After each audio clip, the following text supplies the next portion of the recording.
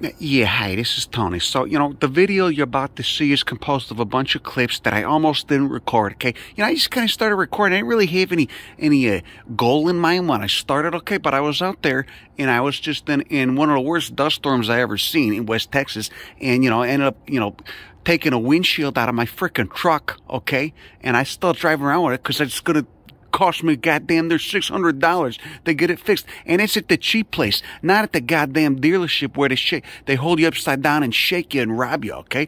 Anyway, so I was in West Texas and, and, uh, you know, uh, like I said, I was just going to take it easy and go climb up uh, some rocks and look at some stuff, uh, you know, in the middle of the dust storm out there.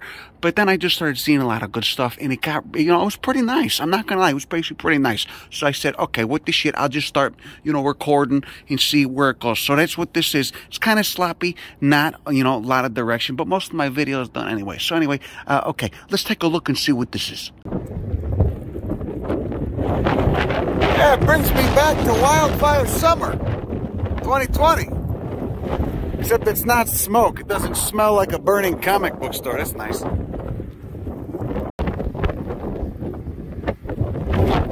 God, it's fucking windy. Jesus Christ. Oh, but you got the Sledge and the Myriopteris. And nothing's, nothing's gonna be blooming, God damn it. Still, who doesn't love crawling around on limestone, huh?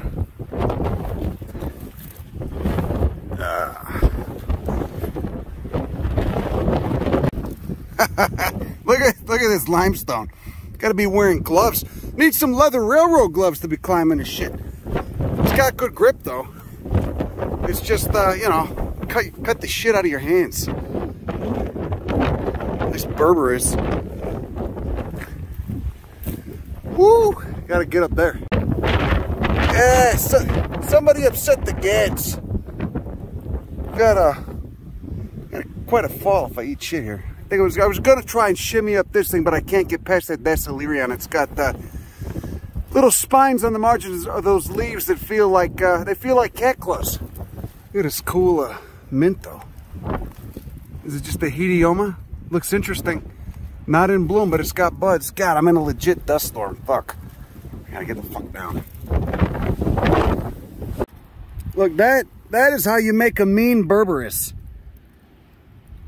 Jesus Christ, feels like razor wire. It's so stiff. Ooh, so rigid. Nice color to it though, as long as you don't have to walk through it. Nice made it up. What happened to you, guy? Look, he's mummified, man. Just completely dried out. Like he's a museum collection. And the wind is so bad, I can't even smell him right now.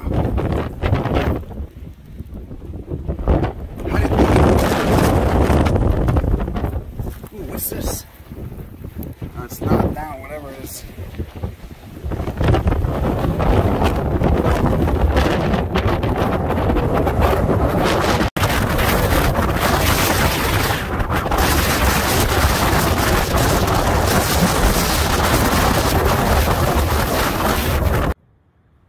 There goes the Border Patrol.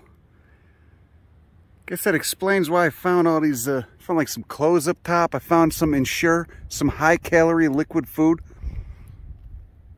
migrant trail, some water bottles too. Anyway, look at this limestone. Look, this they're both limestone. Upon closer inspection, you can see. Uh, but, you know, they got this different coloration. Why is it? I mean, obviously, I'm, I'm assuming uh, more iron oxide here. You know, what processes have happened? I didn't check the age on this. I assume it's Cretaceous. What processes have happened over the last 90 million years to cause the, the difference in color? Different minerals present in the calcium carbonate secondary alteration. What happened, huh? Tell me your secrets, you prick. Just kidding, I love it.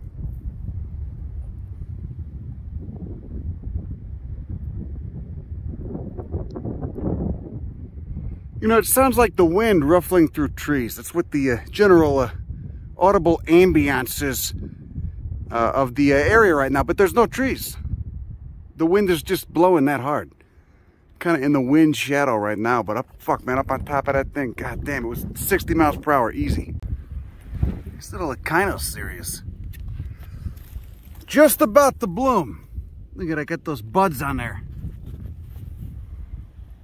this fucking dust storm's insane, man. Crazy.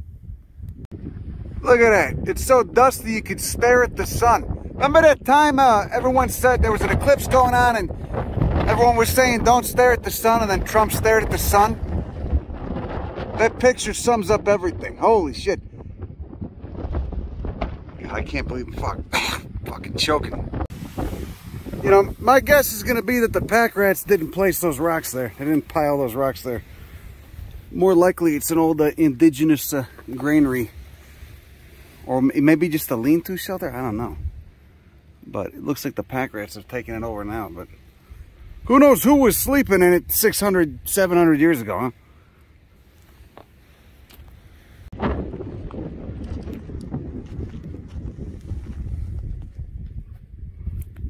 Such a nice agave. Look at those teeth. Agave parryi neo-mexicana. Brown tip spines. Fucking. You could die. You could die on this plant. Ah, the texture of that stem though. Jesus Christ, look at that. Look at the soil. It went from uh, limestone to this kind of igneous.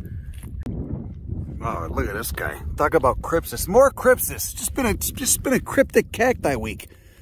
Look at that. Glandula cactus uncinnatus. And uh, judging by the uh, grass next to it, you could see what it's trying to do. You could see what it's trying to do. Trying to look like, uh, use those central spines, those central spines that are recurved at the end to uh, kind of blend in with the grass, with the grassy grass. We are not on limestone anymore, too. Not that. Looks like, uh, looks igneous. Looks like uh, granitic. Could it could be sandstone, maybe. No, no, no. Looks granitic. Definitely see a grain size in there. Maybe it could be sandstone. I don't know. I haven't, I haven't really looked. Certainly does seem uh, granitic though. Nice, nice uh, dust storm blew in. Look at the luck, the uh, Yucca Stoniana over there in a in a distance. Massive bastards. Look how look how wide those are. Jesus Christ. Got your Dasylirion. And a whole bunch of crispy shit. Crispy shrubs. Echinocereus dasyacanthus. Looking like a dang. Looks like he got fried. Got a little, uh, is that Escobaria right there?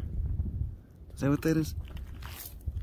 And this guy is about the, looks like he's about to bloom. He looks pretty shriveled. Look at how accordioned those ribs are. All shriveled up. Not plump. But he's still, looks like he was getting ready to flower too, but they, the buds dried up. Oh shit, I think that's, I think that's what happened. I should probably, I'll pour some water on this poor bastard. The truck's nearby. Might as well, you know. God, that's, that's incredible. Look at, it's amazing what selective pressure does, huh? Remember, it's not intentional. A lot of people, uh, you know, we, as humans, we try to anthropomorphize evolution. That's not how it works. Just mutations, genetic recombination, lots of genetic recombination, and selective pressures. The same way that, uh, the same way that, uh, you know, humans can uh, take a plant and produce kohlrabi, broccoli, cauliflower, and kale from the same species just by selective breeding. Nature does its own form of selective breeding. Look at that. Incredible. I'm gonna, I'm gonna water this poor bastard. Those, the fact those flower buds dried up makes me think uh, he might be on his way out. Look how intensely uh, wrinkled and shriveled those ribs are. Oh, the wind's really picking up now. You can almost see the sun.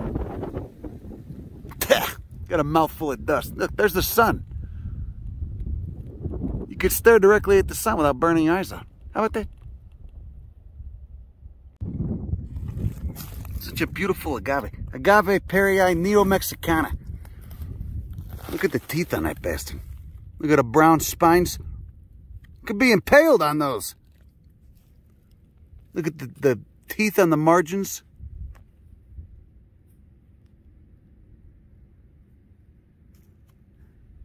Ivory white. And apparently it pups. Not all not all agaves pup. Not all uh, agaves produce offsets. But you didn't see this one on the limestone. A hill over that way was all limestone. This is all igneous. You didn't see that guy in the limestone. You just saw Lechuguilla. Mean bastard. Always got to pay attention to the racks. Always got to pay attention to what racks you're on. Old friend, the Echinocactus uh, horizonthalonius. But you know what? This guy normally likes limestone. It's odd to see him growing on this.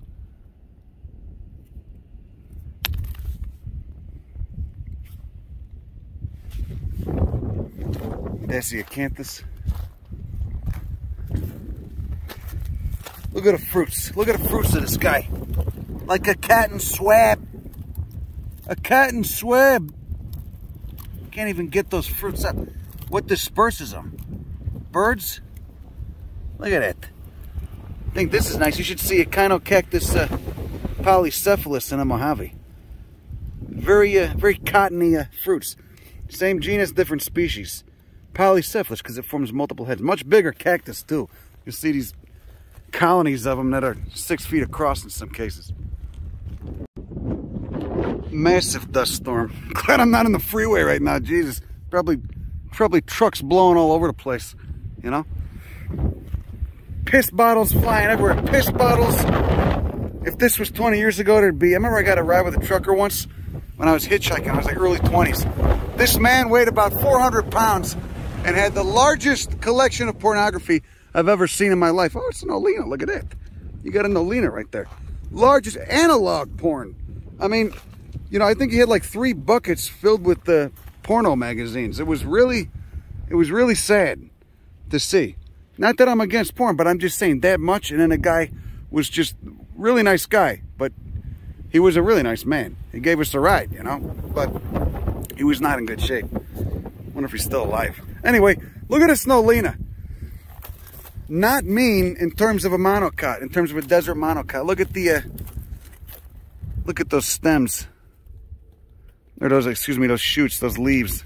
God, Jesus Christ, I'm all over the place. Haven't eaten in six hours. Just had too much coffee. Look at the texture of those. See those ridges? Those little white ridges. Probably, uh, probably some heavy cuticle there. Looks like you got just the tiniest teeth on the margin of that leaf, but it doesn't hurt to brush up against. Okay, not like this bastard that uh, Dasylirion, Dasylirion leiophyllum. And of course, those are the flowers. He just flowers Flowers right there. Flowers right from the uh, from the base of the plant. Jack, you don't gotta follow me. You could just wait over there. You don't need to. He's old. You don't. You don't need to do that. Okay, well he wants to come. Anyway, Nolina. Nolina is a nice genus. You get the Nolina palmeri in the Nopah Mountains in the Mojave Desert. Those are coalescent. They almost look like one of those yuccas over there. They get very big. I've seen those those uh, Nolina palmeris get upwards of six, seven feet tall. Look at those massive yuccas. Massive yucca faxoniana. They can get taller than that too. I've seen them in cultivation. I've seen them almost 30 feet tall. And of course, very ubiquitous common plant. We're still going to give it some attention though. Berberis trifoliata. A trifoliata, you know, creative not, not a very creative name, I guess, in terms of a species name. But it's better than naming it after a person, at least in my opinion. I hate it when they name plants after people. That's stupid. A friend of mine just discovered a couple new, uh, what they think are a couple new monkey flowers in a, in the California desert. And, you know, the, some guy wanted to name after him. He said, no, I don't, I don't want that. I don't want it. He's a, he's a good man. Anyway, look how, pay attention to the structure of this leaf. Leaves that have been uh, modified into spines. I mean, this thing is so, this is not a, this is not a, a soft structure right here. Glaucous, blue, lots of, uh, you know, heavy cuticle right there. But, uh, you know, those, those ends are just spinose as hell.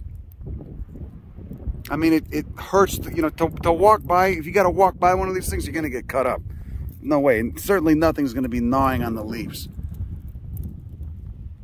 Look at that, look at that leaf. Look at that leaf structure.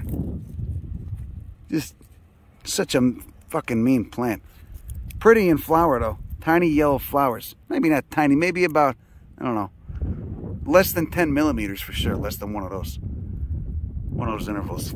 anyway, there you go. Berberis trifoliata. Common as hell, Chihuahua desert plant. Oh, yeah, there's that wind. God damn. Oh, it was, it, it calmed down for a second, but then it just picked back up. Look at this massive goddamn yucca. Yucca faxoniana. You get some roots. You get some nice root action right down there. Almost looks like a tree trunk right there. Look at that woody tissue. Jesus Christ. Fibers, you got the fibers, the little white hairs on those leaf plates. And this is a, this isn't even that big. Like I said, they get a lot bigger than this. It's a big old bastard.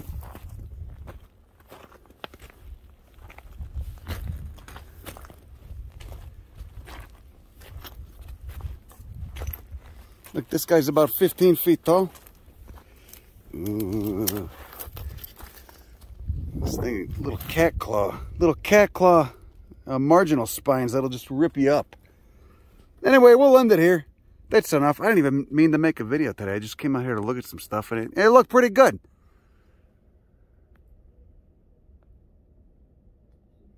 So that across is about, I don't know, I'd say four feet, three and a half. Not bad for a yucca, pretty big.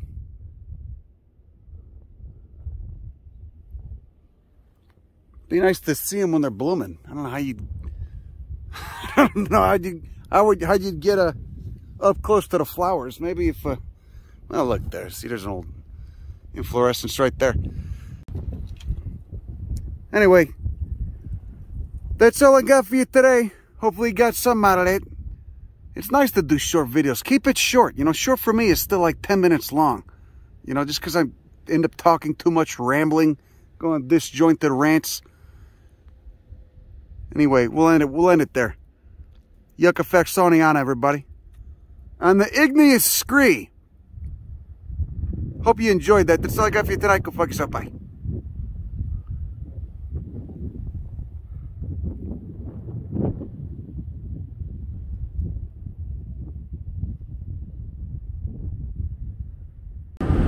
Look at that. The dust is so thick. the dust is so thick still. You could stare at the sun during the daytime.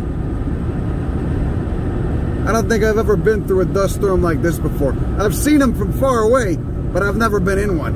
And it's been like this for about three hours now.